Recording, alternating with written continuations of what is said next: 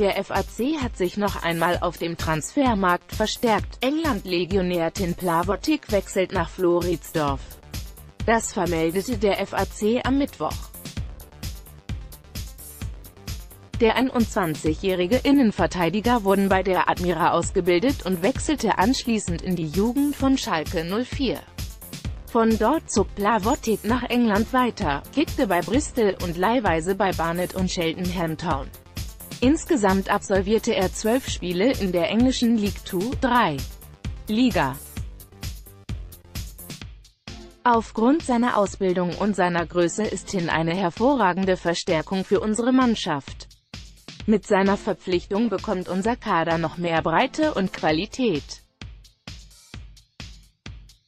Es freut mich zudem sehr, dass wir Tin vom Mutterland des Fußballs zu uns nach Floridsdorf holen konnten, sagt FAC-Manager Sport Lukas Fischer zur Neuverpflichtung. Ich freue mich, zurück in Wien zu sein.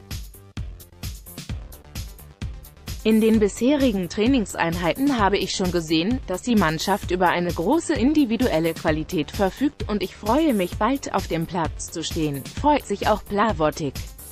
Werbung Werbung